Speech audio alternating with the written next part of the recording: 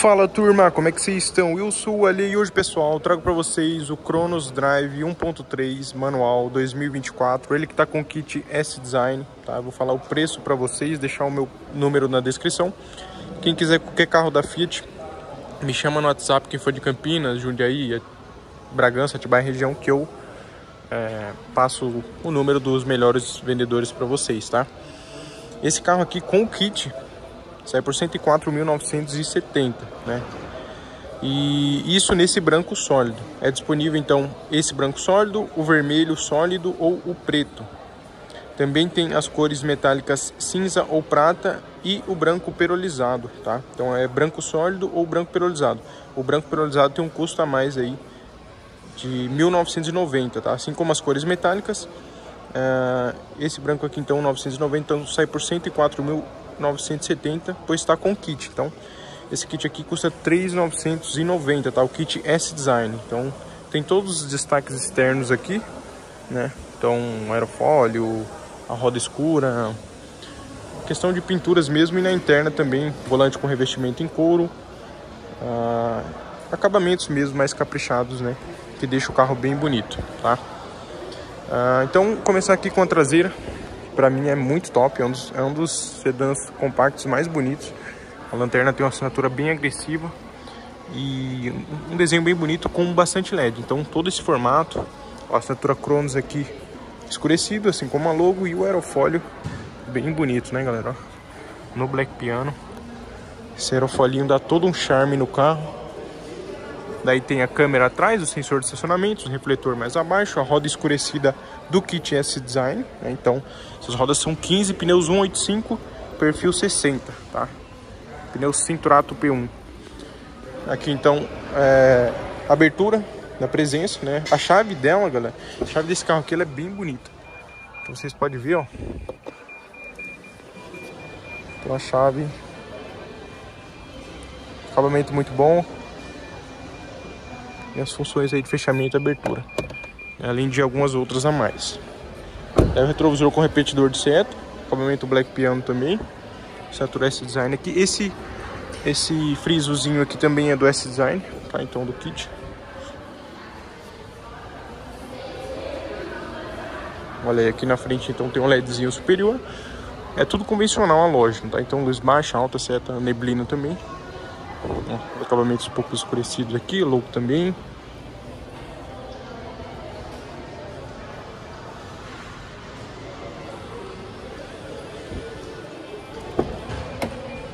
Bom, aqui na interna, então você pode ver os bancos em tecido. O volante recebe o revestimento no couro, né, do kit. Aí, ó, com as costurinhas aqui caprichado ar condicionadinho digital também do kit, tá? Ó, fechar aqui, galera. Vocês podem ver que tem um, a varredura na hora que liga, ó. Toda essa animação inicial. Então o ar é digital. Quando desliga o farol, aumenta a intensidade. Então fica mais forte multimídia, é, painel de instrumentos, as luzinhas aqui. Tá? Então, ventilação no aqui desse lado, regulagem de temperatura desse outro, tá? USB, entrada AUX, a chave já mostrei, câmbio manual de 5 velocidades. Tem regulagem de, vamos ver aqui, de altura. Aqui então, painelzinho de instrumentos fácil de mexer, ó, milhas por hora ou quilômetros por hora, porque não sabe é só apertar o OK que ele muda aqui, tá?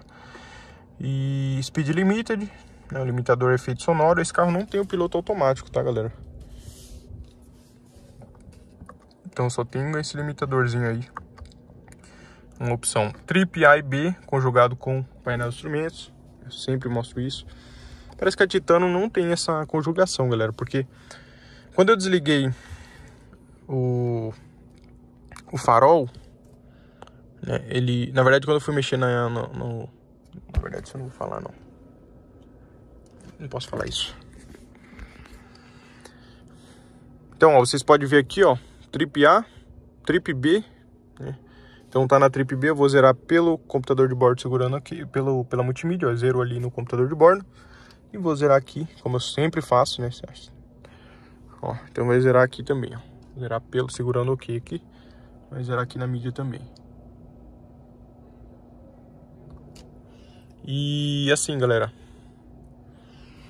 Aqui mais abaixo tem informações de pressão do pneu, temperatura do óleo, horas do motor, revisão, tensão da bateria, rádio, mensagens, configurações de tela.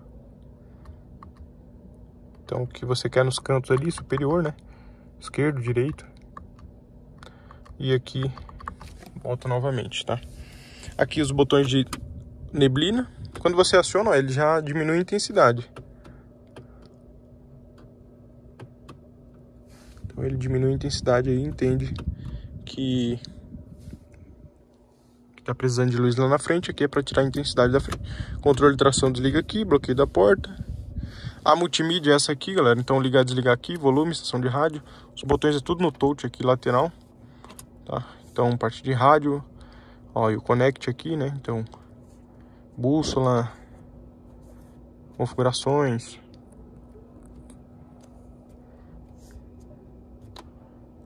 parte de áudio. Certo? Ó, o é escuro dessa, desse, modelo. Espelhos aí com presente também. Retrovisor rebatimento aqui. Ele dá o um aviso, né, que tá ligado, ignição. O espaço ali atrás, regulado para mim, eu tenho 1,74 Fazer a abertura aqui do capô para já deixar no esquema. Aqui no cantinho. Ah, outra coisa. Ah, o painel também tem uma, uma, uma, pintura, galera, nessa parte central. Que é bem parecido com a externa aqui. Né? Então, esse daqui lá da frente é a mesma pintura. Aqui atrás não repete nada. Na verdade, repete como a frente. Aqui os encostos de cabeça todos com a regulagem, estilo vírgula, né? e o contrapeso da cadeirinha. Aqui, galera, o espaço desse carro é sensacional. Pensa num carrinho bom de espaço, cara. É muito bom para os ocupantes, olha isso. Aqui, USB, porta-copo, porta-revisão na direita. Olha só, porta-malas 525 litros, ótimo a litragem, iluminação ali mais acima, certo? Carpete em tudo. Só dá pra ver a lata aqui porque eu abaixei, mas você vê nessa posição aqui, você não vê nada na lata nas laterais, né? Apenas os detalhes das fixações na, na cor do carro. Como o carro é branco, então ficou até destacado. Mas se fosse preto aqui ia ser pretinho também, tá galera? É na pintura do carro ali. O step é a mesma medida de uso, 185 perfil 60 e a roda 15. Das ferramentas fica tudo aqui embaixo, carpete aqui também na tampa, tá? Motor 1.3, 4 cilindros de 8 válvulas, Firefly, 107 cavalos, etanol ou 98 na gasolina. Tá? Isso a um regime ali máximo de 6,250. Tá? O torque é 13.7 etanol ou 13.2 gasolina. Isso é impressionante, né? O motor 1.3, 8 válvulas, tem, um, tem a força que lembra... Uh, na verdade, alguns 1.6, galera, 8 válvulas tem essa potência. Né? E esse aqui é 1.3. Ou seja, consegue ter a potência do 1.6 sendo o litragem menor que é, se destaca no consumo. Né? Acaba sendo extremamente econômico. Caixa manual de 5 velocidades, tração dianteira 0 a 100 em 11.5 segundos, também é bom, né? O desempenho, afinal tem uma, um, uma potência boa, o carro não é tão pesado, então isso ajuda também. E a velocidade final é 185 km por hora de GPS, tá? Lembrando que esse carro pesa 1.130, 1.139 kg. Ah, o tanque de combustível tem capacidade para 48 litros e as médias de consumo é isso aqui, ó. Muito econômico, demais da conta. 9, galera. Cidade etanol 12.8 gasol é, gasolina. E estrada 9.10.9 etanol e 15.5 na gasolina. Tá descendo ali. Então realmente impressiona o, consumo, né? Extremamente econômico. É um carro que tem espaço bom ali para os ocupantes. Eu acho bem interessante ali. Uh, e é bem bonito, né? A traseira aqui é o maior destaque do carro. Realmente, com esse kit aqui no aerofólio ficou top. E a lanterna tem uma assinatura bem bonita também. Isso é bem bacana, certo? É isso aí, visto para vocês. Quem gostou, deixa o like, escreve, comente. Agradeço a todos e aguardo vocês para um próximo vídeo. Valeu!